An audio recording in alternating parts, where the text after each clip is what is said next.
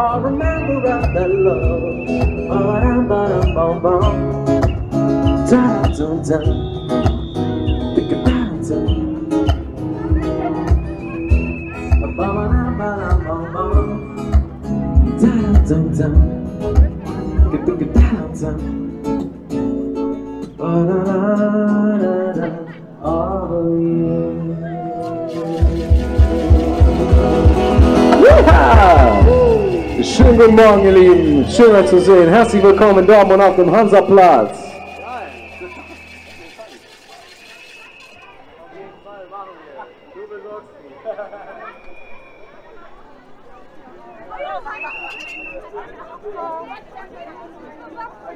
Ja.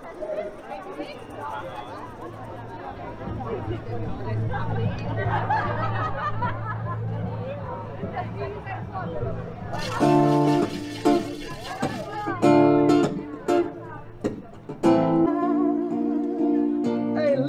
Könnt ihr das mal singen mit uns? Alle zusammen.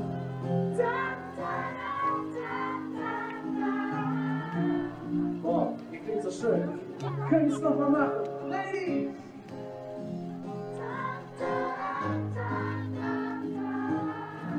Das ist großartig.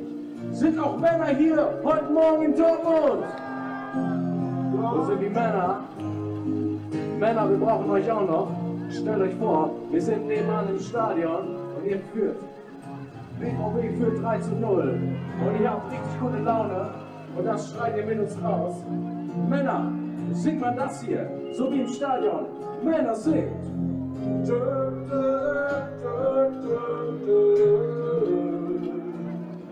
Wo sind die Männer hier in Dortmund? Sing mal mit, sing mal mit.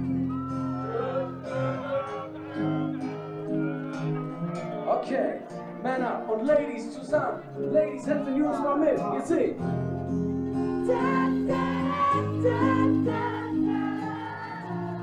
Das klingt schön. Sind die Männer auch noch da? Einmal noch zusammen, sing es. Geil, merkt euch das für den Chorus. Los geht's, ihr kennt das Ding. Es ist 1996, meine Freundin ist weg und freut sich in der Südsee allein. Ja, mein Budget war klein, knapp rein, herein, willkommen im Verein, ich wette. Heute machen wir erneute fette Beute, treffen heute Bräute. Und lauter nette Leute, warum dauernd trauern? Wow, schau dir diese Frau an, die Schande dazu bist du imstande. Komm, ist deine Herz allerliebste aus dem Lande und du hängst, hängst, hängst an. Ey, ja, was soll ich denn heulen? Ihr wisst, dass ich meiner Freundin treu. Ich bin brav, aber ich traf eben my first love. Ich dachte nur im Schlaf, doch auf sie war ich schon immer scharf. Hab ihre Blicke an, till sie mir im Zimmer war.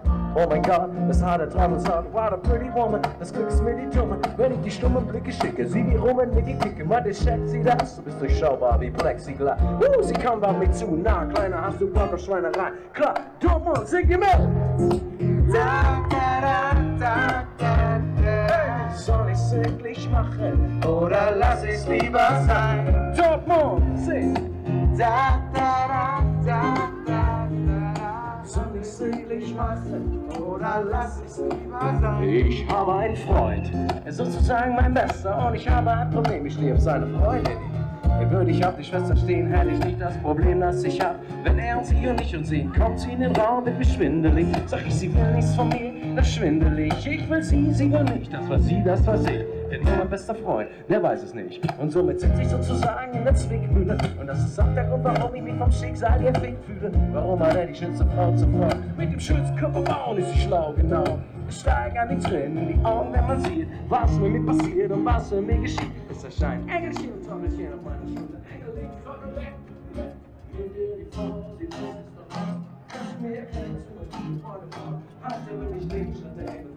Weiß er nicht, dass sowas scheiße ist und Lügner stinkt. Und somit streiten sich die beiden um mein Gewissen. Und ob ich's glaubt oder nicht, mir geht es echt beschissen. Während sich der Teufel und der Engel anschreien, entscheide ich mich für Ja. Nein, ich mein Dortmund!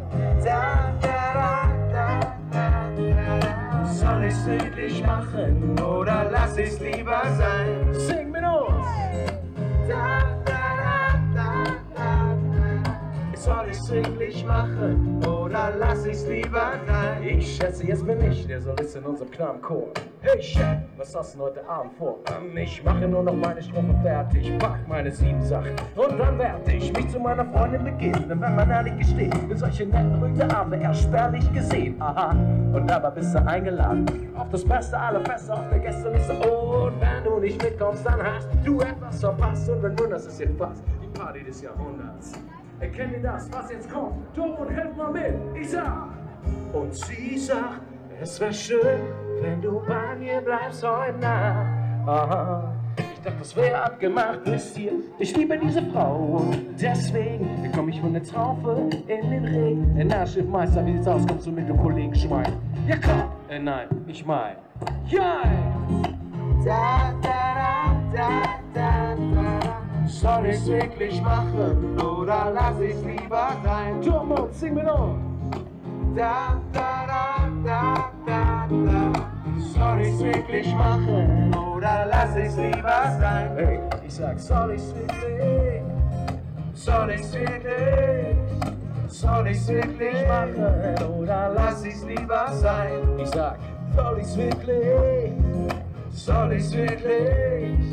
Soll ich's wirklich machen oder lass ich's lieber sein?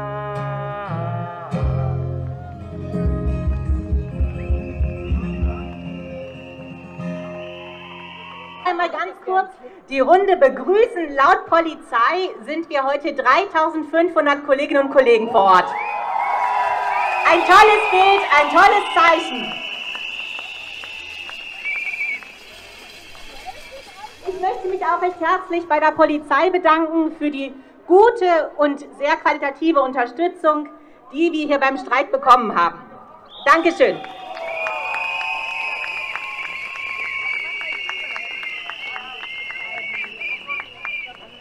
Schon mal für euch zur ungefähren zeitlichen Orientierung. Das Programm beginnt um 12 Uhr.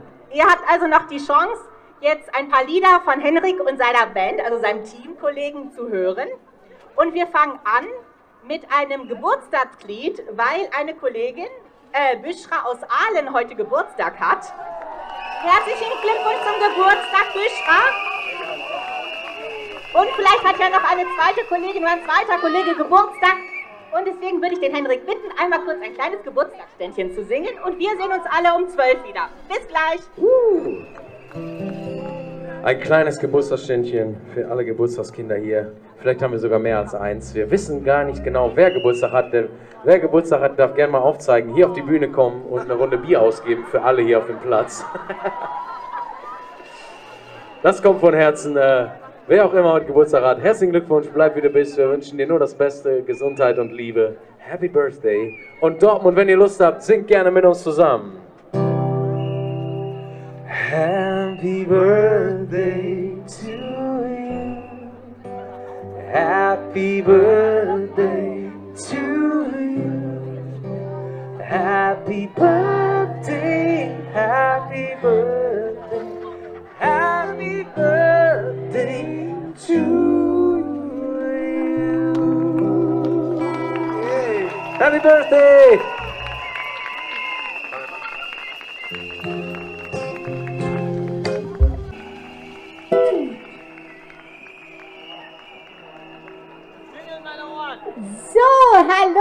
Nochmal zusammen.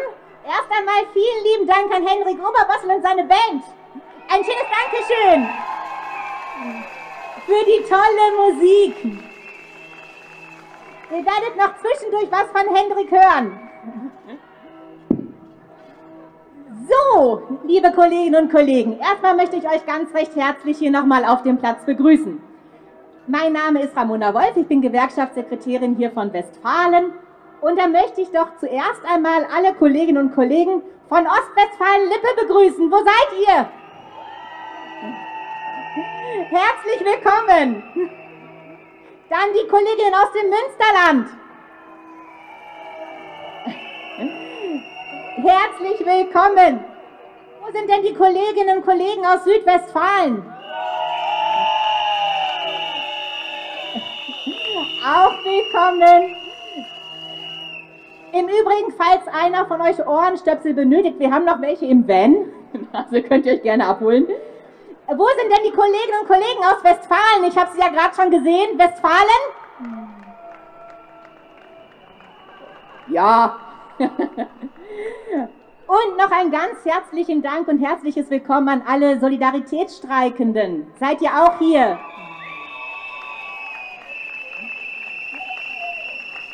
Ja, wunderbar. Ich freue mich, euch alle zu sehen. So, was steht heute auf dem weiteren Programm an? Wir haben gleich zwei tolle Rednerinnen und einen tollen Redner. Zunächst äh, werdet ihr gleich was, etwas von Andrea Becker hören. Das ist unsere Landesfachbereichsleitung für den Fachbereich B.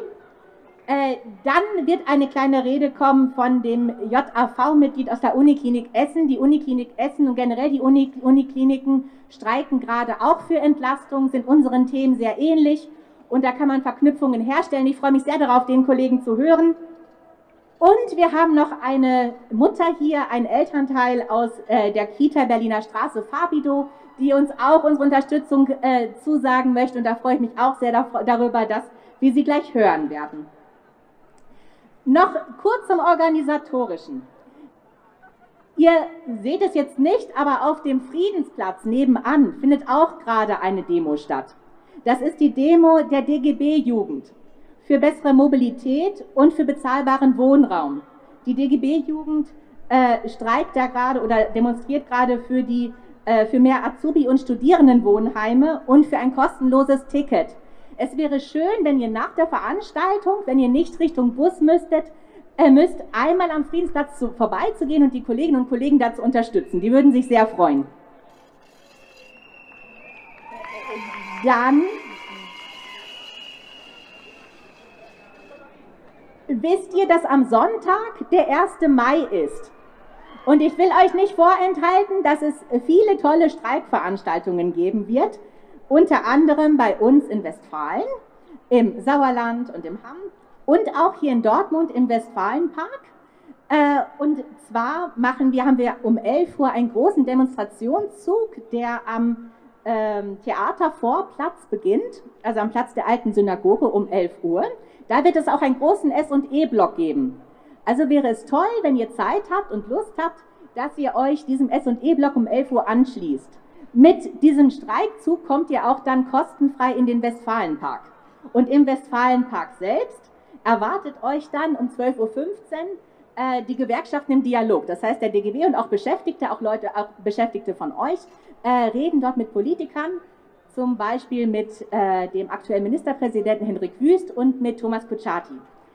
Dazu gibt es dann noch äh, Kultur- und Freizeitaktivitäten, Familienfest und dergleichen. Also wenn ihr Lust habt, Kommt gerne hin, wir würden uns sehr freuen und mit dem S&E-Block können wir ein starkes Zeichen setzen, eben auch gerade für Hendrik Wüst.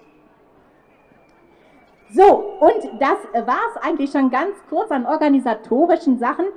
Ähm, wir werden diese Veranstaltung, die wird gegen 13.30 Uhr beendet sein. Dann werden die Teilnehmerinnen, Teilnehmerinnen und Teilnehmer, die mit den Bussen gekommen sind, wieder Richtung Remmidam zu Fuß gehen und mit, oder mit der U-Bahn, wie ihr möchtet, äh, zurück zu ihren Bussen. Und die Kolleginnen und Kollegen, die hier aus Westfalen kommen und die nicht mit dem Bus angereist sind, äh, die haben dann die Möglichkeit, ihre Streikgeldunterstützungsformulare in die jeweiligen Uhren, die wir dann aufstellen werden, in Ruhe einzuschmeißen und dann ist die Veranstaltung beendet. Und jetzt freue ich mich aber erstmal auf eine tolle Rednerin und zwar auf Andrea Becker. Begrüßen wir Sie recht herzlich. Andrea, Andrea.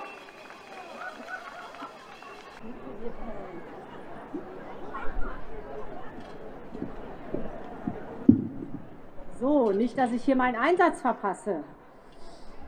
Einen wunderschönen guten Morgen, liebe Streikenden aus den Kitas. Wo seid ihr?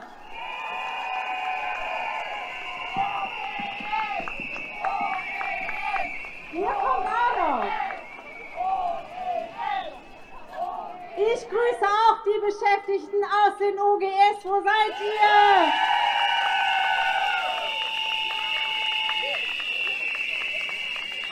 Ich grüße natürlich die Sozialarbeiterin aus allen Bereichen, neben der GOGS. Wo sind die Sozialarbeiterinnen? Herzlich willkommen! Und ich grüße natürlich auch die Beschäftigten aus der Behindertenhilfe. Die sind nämlich auch im sozialen Bereich. Wo seid ihr? Ich grüße euch alle, alle, die im sozialen Bereich tätig sind, weil ihr so einen wichtigen Job macht. Ihr seid die stillen Helden und ihr seid jetzt dran und darum stehen wir heute hier, Kolleginnen und Kollegen. Warum streiken wir? Wir streiken für bessere Arbeitsbedingungen, wir streiken für Entlastung und wir streiken für die Aufwertung aller Berufe in der sozialen Arbeit. Und weil ihr jetzt dran seid und weil ihr so einen super Job macht, deshalb streiken wir, deshalb machen wir Druck und deshalb muss sich am Verhandlungstisch jetzt endlich was bewegen, Kolleginnen und Kollegen.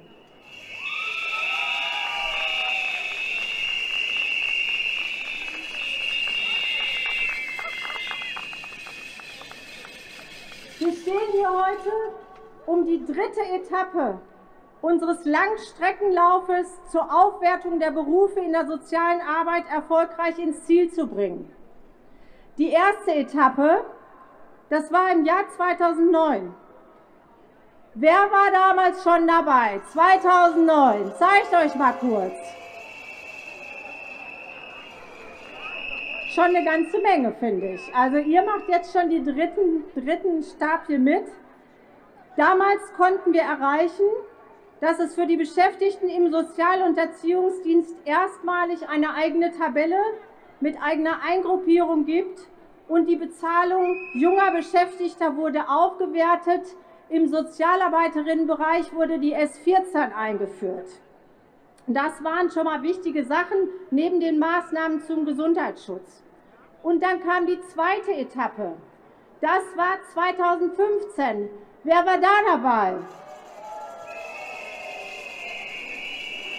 Super. Toll, dass ihr wieder dabei seid. 2015, da konnten wir durchsetzen für einige Berufsgruppen, dass es höhere Entgeltgruppen gibt. Die Vergütung wurde erhöht und die Aufwertung der Leitungstätigkeit. Weshalb sage ich das, Kolleginnen und Kollegen?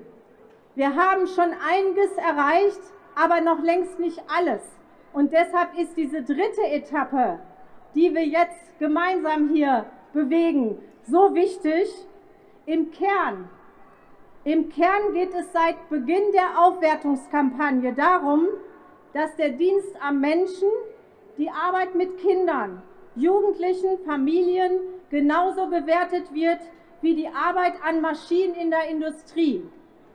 Und das, Kolleginnen und Kollegen, genau, das muss gewürdigt werden, aber das ist in Deutschland nicht der Fall. Und dass das nicht der Fall ist, ist eine Schieflage und wollen wir ändern in unserem Langstreckenlauf zur Aufwertung der sozialen Berufe. Und es stellt sich natürlich die Frage, warum soll denn der Verdienst einer Sozialarbeiterin nicht der eines Ingenieurs entsprechen? Beide haben qualifizierte Studiengänge absolviert. Kolleginnen und Kollegen, in Sonntagsreden wird euch immer der maximal wichtige gesellschaftliche Auftrag zugeschrieben. Aber Sonntagsreden reichen uns nicht mehr. Wir wollen Aufwertung und zwar jetzt.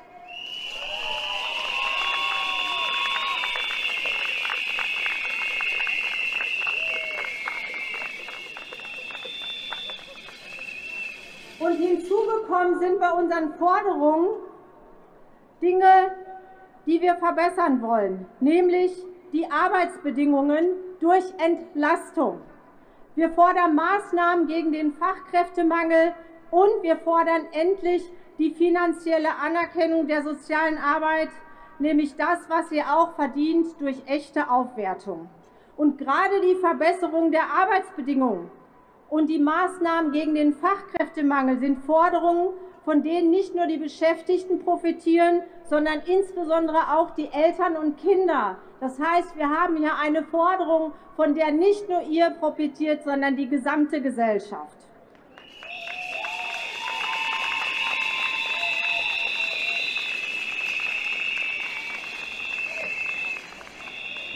Jetzt in den Streik konnte ich mit vielen Kolleginnen und Kollegen reden und eins ist immer klar geworden, unter den jetzigen Arbeitsbedingungen ist es fast unmöglich, noch gute pädagogische Arbeit zu machen. Das ist die Botschaft, die ich immer wieder gehört habe.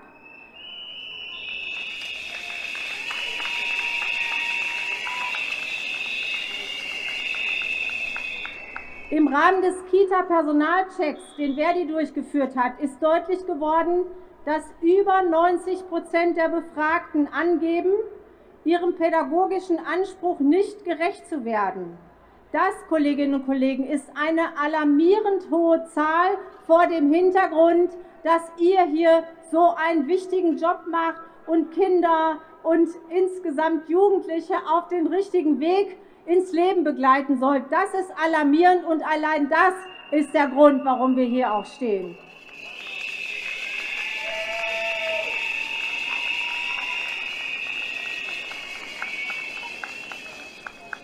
Dass die Zahl derjenigen, die sagen, ich kann so meinen Job nicht gut machen, so alarmierend hoch groß, groß ist, ist kein Wunder.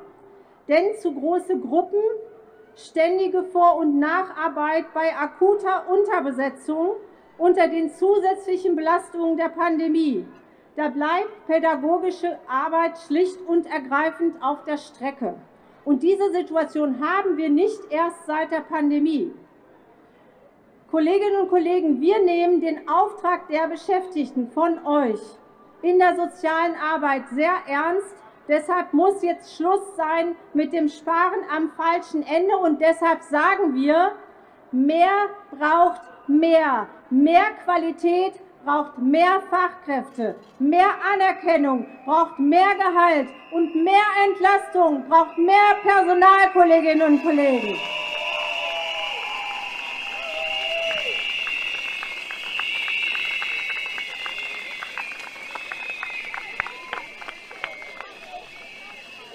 Wenn wir uns die gesellschaftliche Situation angucken, dann ist eins klar, ohne die Beschäftigten in der sozialen Arbeit läuft nichts und das wissen wir nicht erst seit der Pandemie. Die Pandemie hat aber wie ein Brennglas die Probleme deutlich gemacht, die es gibt. In den Kitas viel zu große Gruppen, kein richtiger Betreuungsschlüssel für die U3, kaum ausreichend Zeit für Praxisanleitung und keine Honorierung in der Pandemie waren die Beschäftigten der Situation schutzlos ausgeliefert. Damit aber die Pflegerinnen, die Feuerwehr, die Polizei weiter arbeiten konnten, musstet ihr arbeiten. Die Kitas mussten offen bleiben. Und Kinder und die Schulen auch, genau. Wir wollen hier keinen vergessen. Und die Kinder lassen sich nicht auf Abstand halten. Das muss jedem klar sein. Seit zwei Jahren brennt also der Baum in den Kitas, in den Schulen, überall. Und die Beschäftigten gehen auf dem Zahnfleisch. Im Rahmen der Aktion Kitas am Limit, ich habe hier eben auch ein Schild gesehen, wo eine tolle Gruppe aus Hagen, wo sind die Hagen? Na, ihr hattet so ein schönes Schild dazu, wahrscheinlich jetzt irgendwo da hinten. Kitas am Limit ist die Aktion, wo die Beschäftigten Druck gemacht haben und gesagt haben, wir gehen jetzt mit der Situation, in der wir uns befinden, nach außen. Wir teilen das der Öffentlichkeit mit, dass wir nicht mehr können. Wir gehen auf dem Zahnfleisch, wir benennen das jetzt so und das ist richtig so, Kolleginnen und Kollegen, weil das ist nicht in Ordnung, dass ihr in der Pandemie besonders, aber schon seit Jahren auf dem Zahnfleisch geht und das muss geändert werden.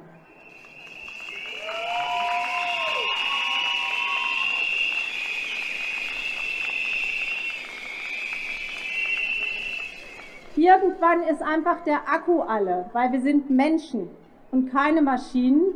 Und deshalb ist auch die Situation für die Beschäftigten in der Sozialarbeit durch die Pandemie besonders gewesen. Der Druck ist massiv gestiegen. weil welche sich zuspitzenden Situationen in den Familien bekommt man nicht mit, weil Hausbesuche in dem Umfang nicht möglich sind. Was ist, wenn Kindeswohlgefährdung nicht rechtzeitig gesehen wird, wenn Situationen falsch eingeschätzt werden? Ständiger Druck und Angst, in eine solche Situation hineinzukommen. Und wenn etwas passiert, dann wird zunächst bei den Beschäftigten geguckt, ob alles richtig gemacht wurde. Und das geht so nicht, Kolleginnen und Kollegen, und auch das wollen wir ändern.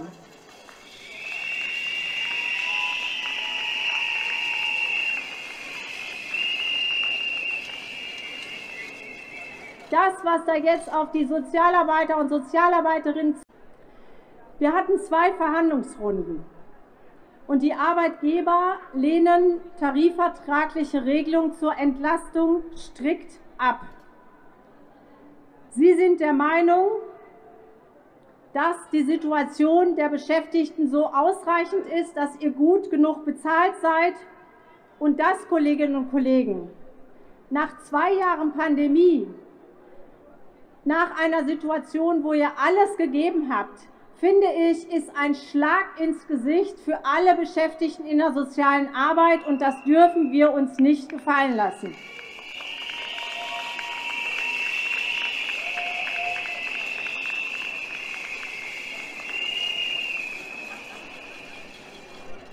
Und die Arbeitgeber haben uns wissen lassen, dass eure Bezahlung, also eure Einkommenssituation angemessen sei und in einem Rundschreiben des Kommunalen Arbeitgeberverbandes teilen Sie mit, dass ihr seit 2009, jetzt holt mal euren Taschenrechner raus, seit 2009 müsstet ihr nach einem Rundschreiben des Arbeitgeberverbands 61 Prozent mehr Vergütung bekommen. 61, ist kein, kein Sprachfehler von mir. Und ich frage jetzt mal, ich mache das auf jeder Kundgebung, ich frage jetzt mal, wer hier auf dem Platz diese 61 Prozent mehr verdient. Gibt es hier jemand? Ich würde mich ja freuen. Niemand? Okay. Also, das war meine Vermutung.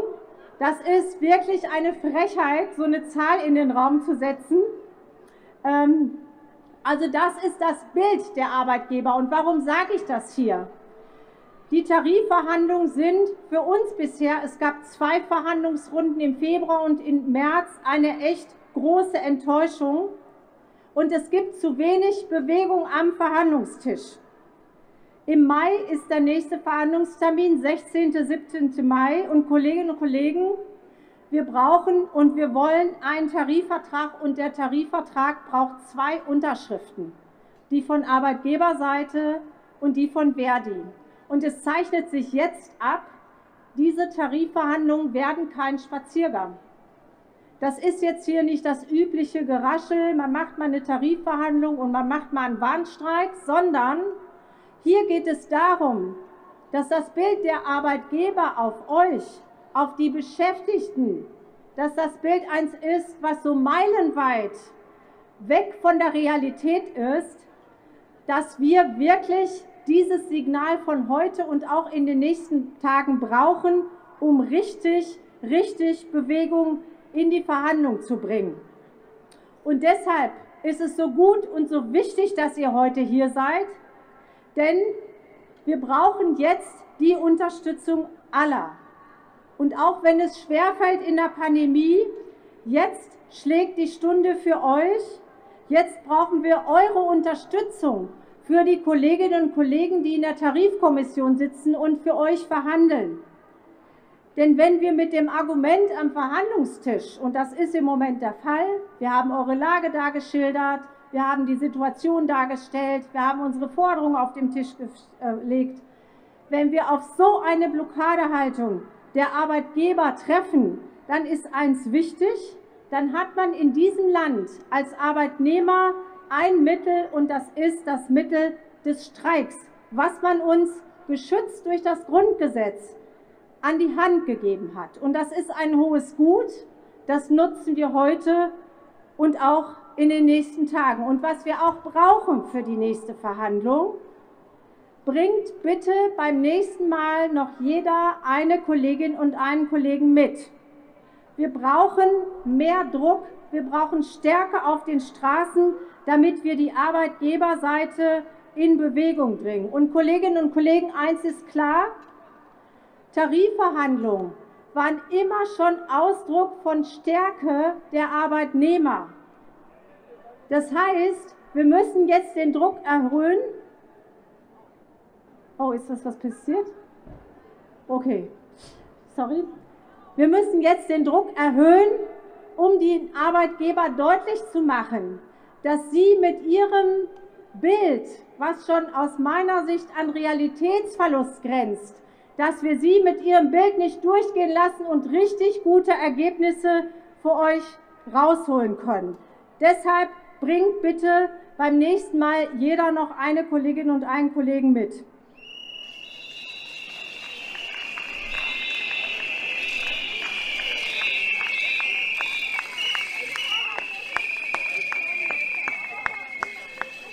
Mit diesem Signal heute in Dortmund und übrigens auch in Köln und auch in Essen und bundesweit sind heute die Beschäftigten in der sozialen Arbeit gemeinsam mit uns unterwegs, um den Arbeitgebern richtig den Hintern einzuheizen. Das brauchen die offensichtlich. Und mit diesem Signal, Kolleginnen und Kollegen, gehen unsere Kollegen aus der Tarifkommission gestärkt in die nächste Verhandlung. Das brauchen wir auch, denn ihr habt 2009 2015 schon bewiesen, dass man an euch nicht vorbeikommt. Um das ganz klar zu sagen, es liegt nicht in unserem Interesse, wochenlange Streiks zu machen. Es liegt in unserem Interesse, einen guten Tarifvertrag für euch abzuschließen. Aber wenn die Arbeitgeber sich verweigern, dann ist der Druck von euch, dann sind die Streiks erforderlich, dann geht es nicht anders und dann machen wir das gemeinsam, solidarisch und voller Überzeugung, Kolleginnen und Kollegen.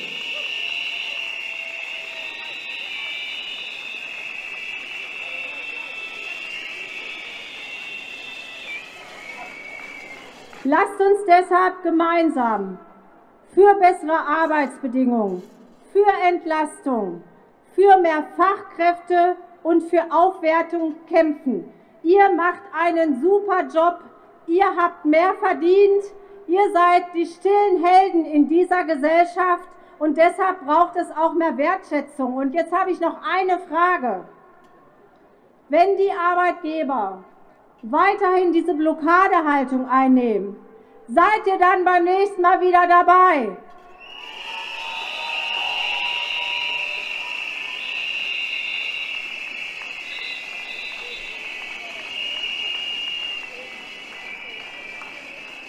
Das ist genau das Signal, was wir jetzt brauchen, Kolleginnen und Kollegen. Durch Zusammenhalt, durch Zusammenhalt, Solidarität. Dadurch kriegen wir gute Tarifverträge hin. Lasst euch nicht abbringen von euren Forderungen. Wir kämpfen gemeinsam bis zum guten Tarifvertrag. Ich danke euch.